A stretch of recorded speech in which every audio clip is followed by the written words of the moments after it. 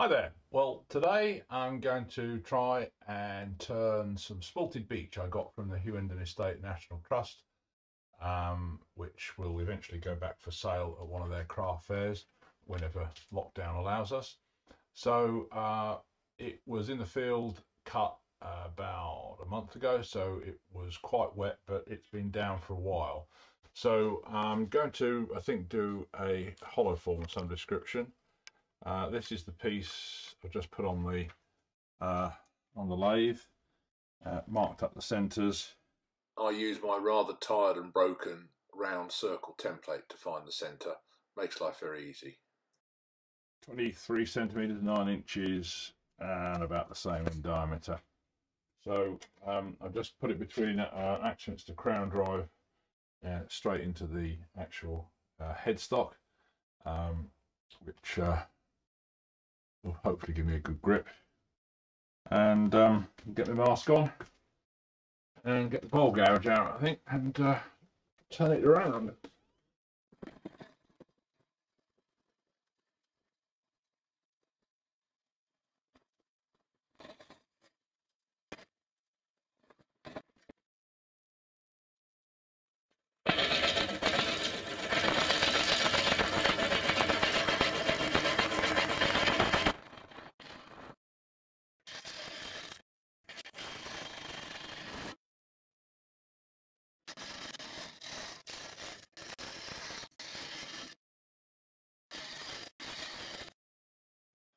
So with it roughly turned around, uh, just trim up the uh, bottom end and then mark up a uh, tenon. I'm going to use the large record power dovetail jaws that are about five inches across because uh, as I'm going to hollow this I need a pretty good um, gripping method otherwise uh, it'll either shear the tenon off or else just come off the lathe.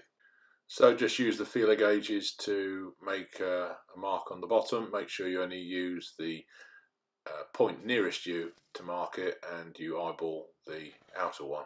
If you use the two at the same time, it gets exciting very quickly. Uh, so then just hog off some of the waste and uh, turn the tenon. I'm just hogging the material off here using the lower wing and the bottom part the bevel of the 3 8 bowl gouge and then uh, trim the shape of the uh, tenon so that it's um, got the mortise profile using a skew. And I'm then just uh, getting rid of some more of the waste uh, on uh, this part. This will be the bottom, so I need to create a little flat area so that the um, face of the jaws has got something to sit against because that provides the majority of the support for the grip from your chuck jaws.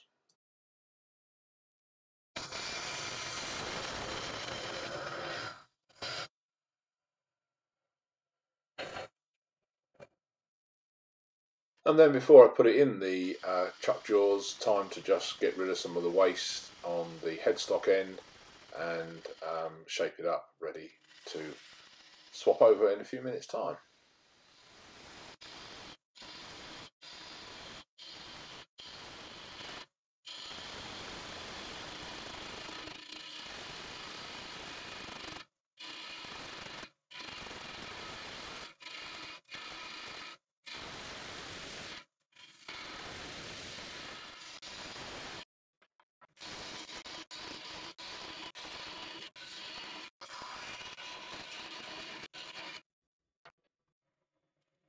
The wood is really quite punky and uh, isn't getting a good finish off the tool.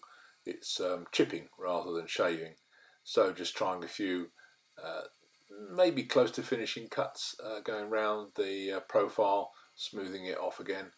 Uh, this is going to require quite a bit of work I think once it's in the chuck to get a decent finish. So we've swapped over and put it in the chuck uh, looks like I got the size just right and it's giving a nice firm grip with those uh, really large jaws. So a bit more finessing of the shape and then start hollowing it out.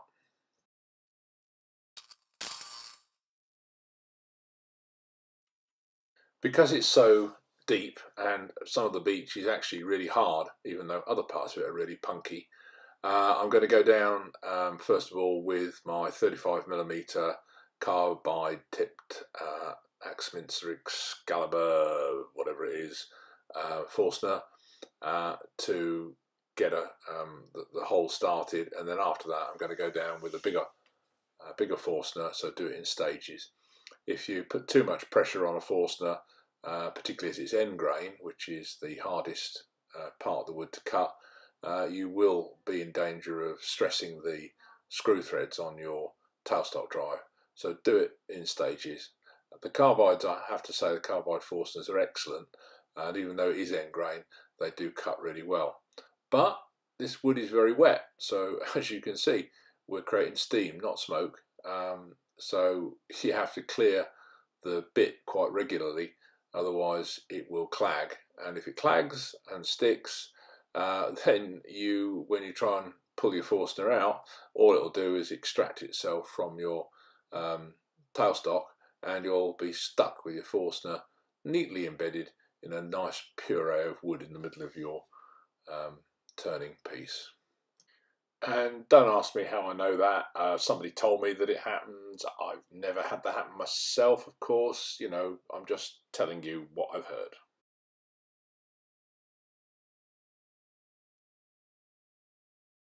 Well, time now for the big guns to come out. This is a, um, I don't know what it is, 55, 60 mil Forstner um, sawtooth.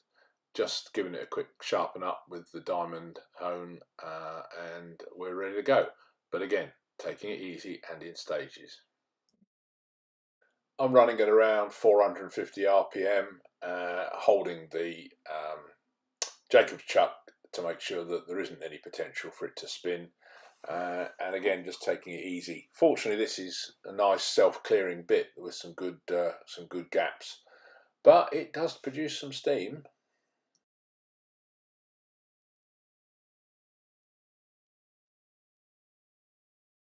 So after the Forstner has gone all the way down to the depth of the original 35 mil, um, I'm going to swap over and bore down to the base of the um, vessel with the 35 mil. Uh, the uh, hole I've created with the big Forstner is big enough now for the body of the Jacobs chuck to actually go into the hole. So there is method to the madness. It means I don't have to use the extension bars, which I've got, but they do tend to make it a bit more uh, uh insecure when you're boring the longer depths. So doing it this way works quite well.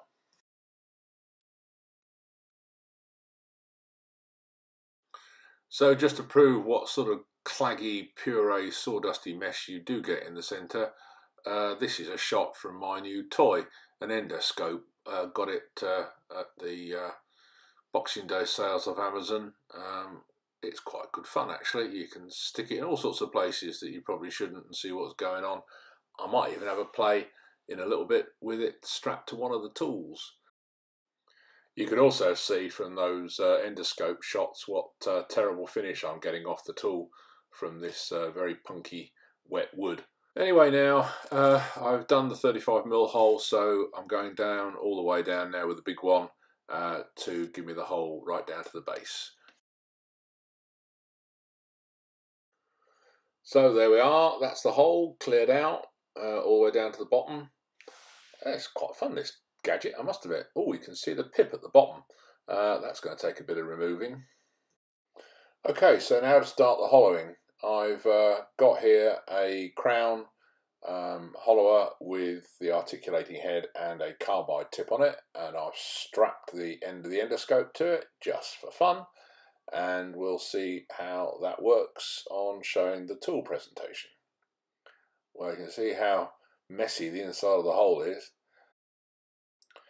so I'm just going to turn the lathe on, there it is, uh, and do some uh, gentle uh, cuts uh, just to get used to this uh, tool, which I've not used this particular carbide before. So some gentle push and pull cuts, uh, gently rubbing the bevel Seem to get the hang of it quite well, so uh, just apply a bit more lateral pressure. Can't apply too much because it's still, don't forget, just on the uh, tenon. And uh, yeah, soon start to hog out some material.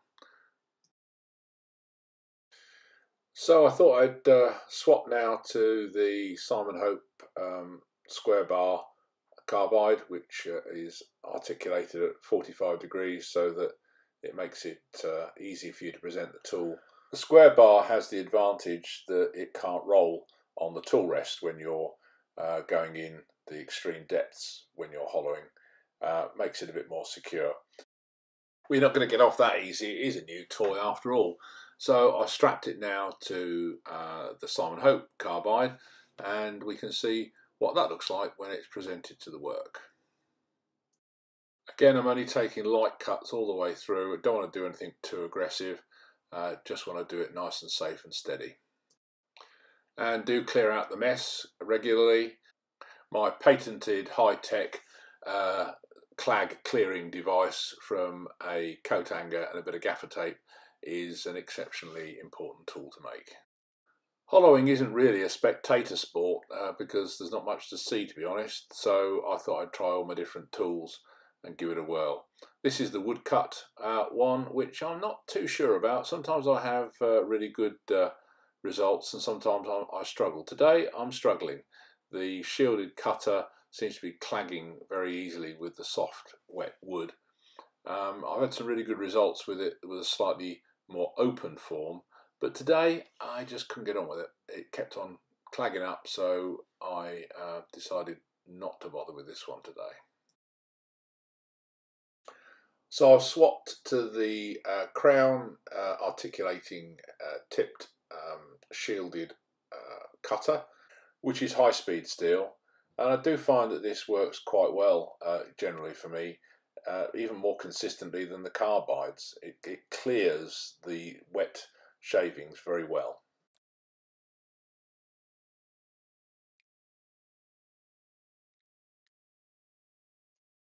So I thought now I'd uh, put my uh, alternative tool rest on, which is the uh, Phil Irons one, um, so-called, uh, for the uh, woodcut system, but it can be used for any uh, tool. Um, it comes with the two U-shaped um, rests that you can fit in different positions on that tool rest, located using the circlip. Um, and uh, the collar uh, means that it, you can set the height of the platform so that the tool is always at dead center. And uh, what it allows you to do is to lever against the uh, side of that hoop so that you um, take some of the load off your own arms when you're doing it and certainly makes it a uh, more robust cut that you can achieve. So I'm starting to remove a reasonable amount of material now uh, and you do need to use the patented sawdust clearing tool at regular intervals of course and basically it's a case of rinse and repeat now. You don't think you got off that easy do you? So here's another shot now with it strapped to the crown tool uh, using the endoscope um, just to see what that looks like when you go inside. Again, uh, just taking uh, gentle cuts to start with because uh, obviously you're not going to see very much once the shavings start coming off. As you can get the idea there is indeed the case. And with the sawdust removed, you can see you're getting really quite a good finish on the inside there, uh, straight off the tool with um, the shear scraping action giving you a really good finish. Still got some detailing at the bottom to sort out because you can see the edge where the Forstner was. So rinse and repeat really, uh, just uh, occasionally move the tool rest in order to get the um, tool presented at the best angle and uh, carry on hogging away. There's about 40-50 mil of wood to be removed so there was quite a bit of time spent doing this. So after I got quite a lot of it out, um, I needed to just uh, finesse some of the finish at the bottom. So I've just popped a small scraper on the uh, Crown MIDI system, which is the handle tool, uh, just to sort of start um, detailing the bottom.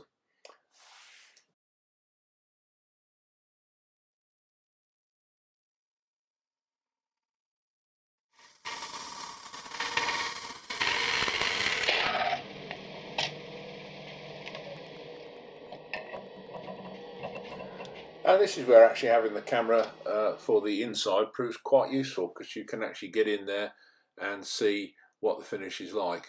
Not so easy just holding a torch into it because you can't get your eyeball in there to see what's going on. Still need a bit of work at the bottom, but we're getting there.